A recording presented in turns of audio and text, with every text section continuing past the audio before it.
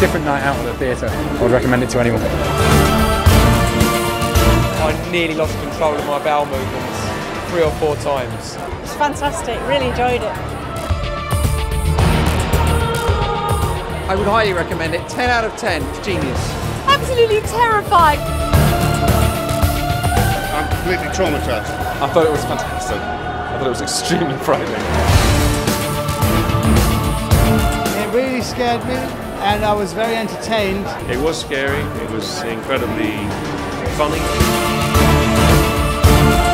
I'm a little bit hot and a little bit frightened.